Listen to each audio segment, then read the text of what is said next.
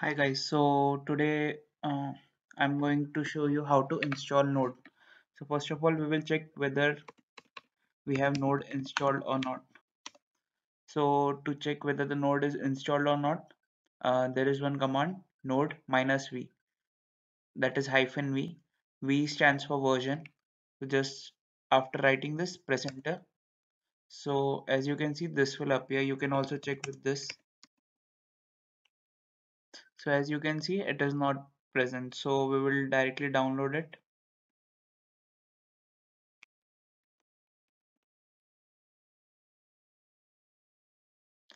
We will go to nodejs.org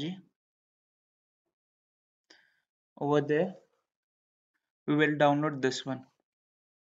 You can download this also but this is the stable version so I will download this one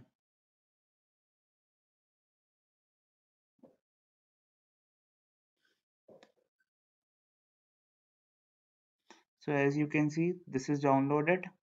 So on clicking on clicking on that uh, this will open. So press next. Accept it. Next.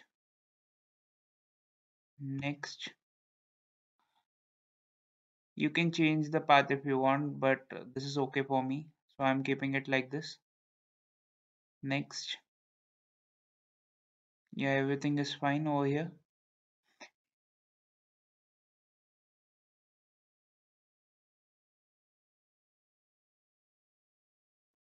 next and then install.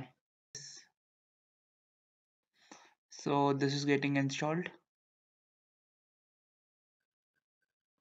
As you can see this is successfully installed. So after finish what I'm going to do is I'm to I'm going to close this command prompt. I will again write the same command so as you can see the version of the node which we have downloaded that is 12.18.18.3 is here. We can also write npm minus v. So this will show package manager version. So as you can see this is downloaded